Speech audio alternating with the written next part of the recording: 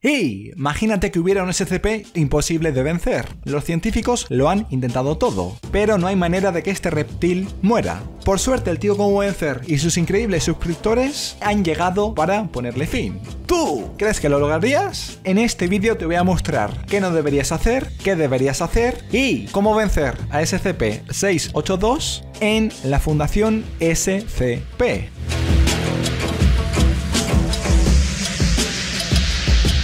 Esta es la historia de SCP-682, monstruo reptil que la Fundación lleva mucho tiempo intentando matar. Lo han sometido a armas letales y ataques de otros SCP, pero nunca muere. Es un reptil que odia a cualquier ser vivo. Posee astucia, razonamiento avanzado e inteligencia lógica. Puede hablar con los humanos. Para que no les ataque, lo mantienen en un tanque enorme lleno de ácido clorhídrico, que derrite sus tejidos para evitar que alcance el máximo potencial y arrase con todo a su paso, ya que esa es su mejor habilidad, la increíble adaptabilidad a cualquier estímulo externo. Puede regenerarse y es capaz de replicar los ataques de sus enemigos. Por eso la Fundación quiere eliminarlo cuanto antes. Vale, el SCP-682 posiblemente sea el SCP más difícil de destruir. Por lo tanto, para asegurar su muerte, la Fundación podría hacer uso de las armas más poderosas creadas por el ser humano, armas nucleares. Pero claro, tenéis que pensar que si esto no funciona, si la criatura evoluciona, si resiste al ataque, la humanidad estaría condenada. No habría forma de matarlo jamás porque no hay armas más mortíferas. Por eso hay que barajar otras opciones. Primero, dejar caer a la criatura desde una altura considerable. Quizás así muera a causa del impacto. Segundo, desmembrándole el cuerpo mediante un potente láser. Existen algunos que llegan al billón de vatios. Una locura. Tercero, succionando el aire de su cámara de contención y creando un vacío. Como es un ser animal, necesita respirar.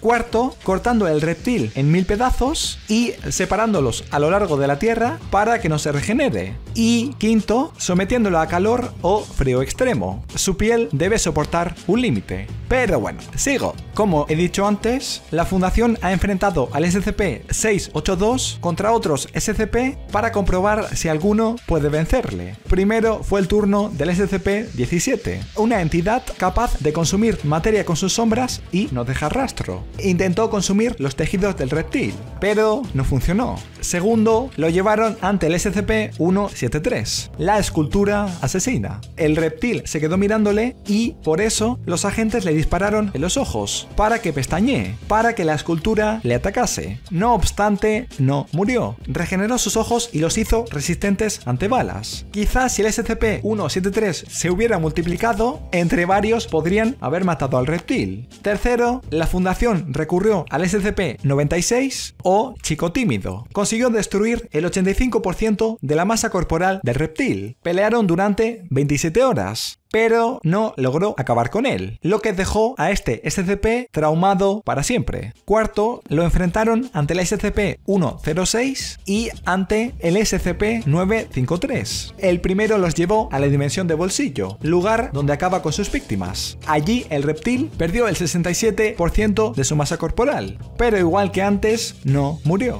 Y quinto, lo enfrentaron ante el SCP-76, bárbaro que mata a quien se interponga en su camino no fue el caso del reptil. La pelea quedó en empate. Vale, estos son algunos de los SCP más poderosos, pero hay miles y miles. Hoy en día unos 7000. Por lo tanto, la idea sería ponerlos a la mayoría ante el reptil. Probablemente alguno logre matarlo. Yo propondría los siguientes. Primero enfrentarlo ante el SCP-162. Bola hipnótica llena de objetos afilados. Objetos que se engancharían a la criatura y lo más probable es que le arrancarían gran parte de su cuerpo. Como ocurriría con el cañón de motosierra del Dr. Bright, uno de los investigadores más importantes. O también, igual que ocurriría con el SCP-18, bola que aumenta la eficiencia en un 200% cada vez que rebota en alguna superficie y que en un pie del traje SCP-A5 lo convierte en una armadura muy veloz e implacable. Cada patada dada al reptil aumentaría el 200% de su fuerza respecto al anterior. Podría arrancarle las extremidades y partir a la criatura en dos. Segundo, llevando al reptil ante el guardián de la puerta, una de las propuestas del SCP-1, guardián que tiene una espada tan ardiente como el sol, capaz de destruir objetivos a nivel atómico, capaz de destruir al SCP-682. Si no, lo podrían encerrar en una nave espacial y obligarle que vaya directo al propio Sol. Tercero, transportándolo a Rusia, donde está el SCP-3930, gran pila de nada que hacen que las cosas que hay en su interior dejen de existir. Cuarto, colocando a la criatura dentro de SCP-536, cámara donde se usan diales para controlar las constantes físicas de lo que hay dentro. Se puede aumentar la velocidad de la luz y la fuerza nuclear de su interior.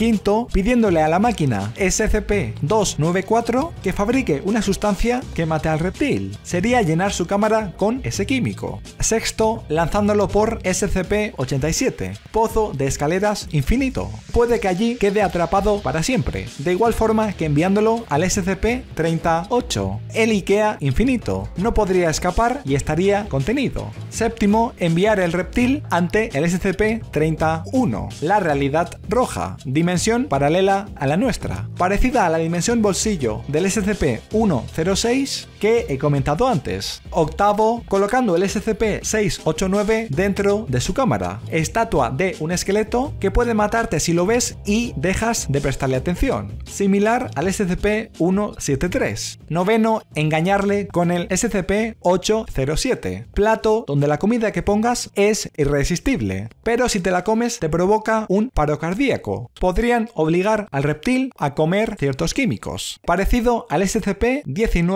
SCP-1933, Papá Noel cuyos fluidos corporales son crema irlandesa. Si el monstruo la bebe en exceso, podría morir intoxicado, parecido también al 743, fuente de chocolate vigilada por hormigas carnívoras. Si te la comes, te comen. Décimo, liberando al SCP-524 en su cámara, conejo que puede comer lo que sea. Podría comerse al reptil como el animal SCP-2337, pájaro que habla a las víctimas hasta matarlas debido a su grave voz.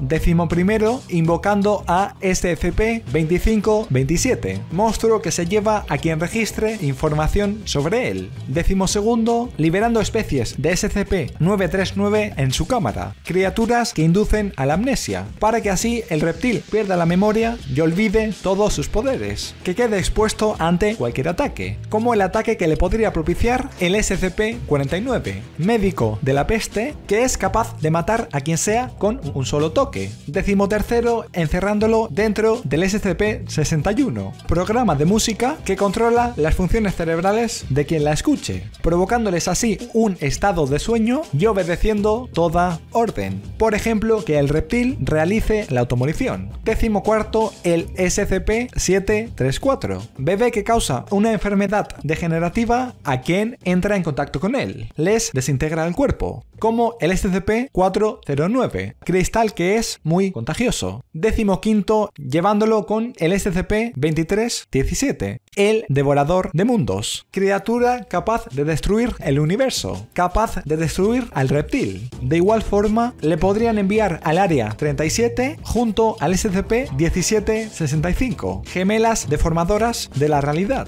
Décimo sexto, liberando al reptil en un recinto donde esté el SCP-272, clavo que atrapa a cualquier ser vivo en su lugar cuando se deja caer sobre la sombra. Décimo séptimo, disparándole con el SCP-318, pistola que convierte todo lo que toca en una versión pequeña de sí misma. Un SCP-682 diminuto sería inofensivo, similar a lo que le ocurriría dentro de una cámara controlada por el SCP-1050 dial que cambia el tamaño de seres vivos. Incluso podría hacer que desaparezca. Décimo octavo, enfrentándolo ante SCP-166, espíritu de la naturaleza que puede causar que la materia orgánica de su alrededor se descomponga. Podría desvanecer el cuerpo del reptil. Décimo noveno, obligarle a tocar el SCP-963, medallón que lleva puesto el Dr. Bright y que quien lo toca muere cerebralmente